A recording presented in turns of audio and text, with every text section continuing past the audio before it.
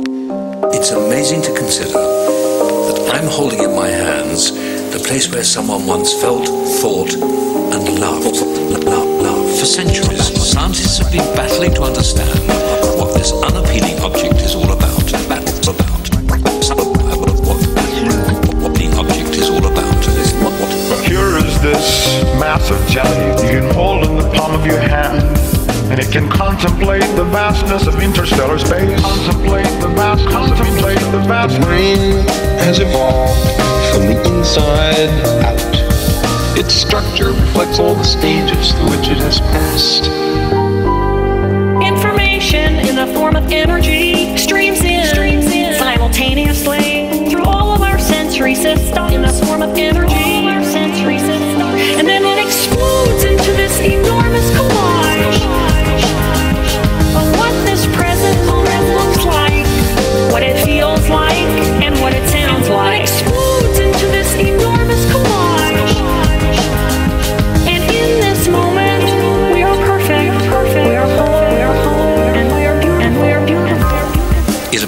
Rather gruesome, wrinkled like a walnut, and with the consistency of mushroom. Mushrooms, like a walnut. What we know is encoded in cells called neurons. Cells called neurons. And there are something like a hundred trillion neural connections. This intricate and marvelous network of neurons has been called an enchanted loom.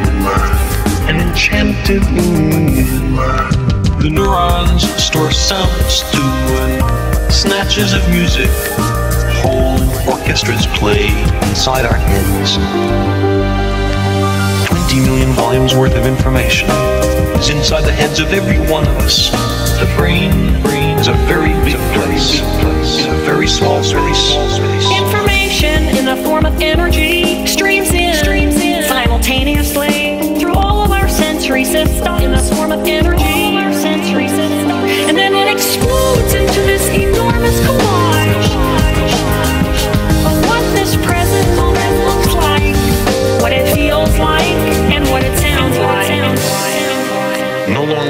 Mercy of the reptile brain, we can change ourselves.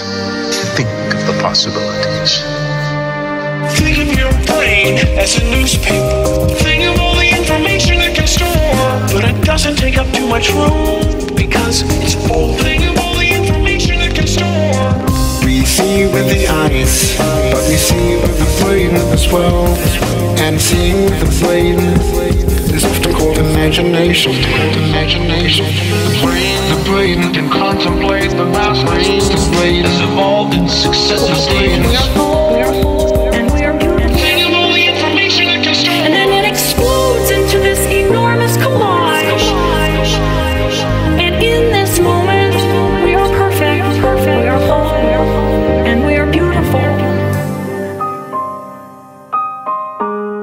Is the most mysterious part of the human body, and yet it dominates the way we live our adult lives. It is the brain.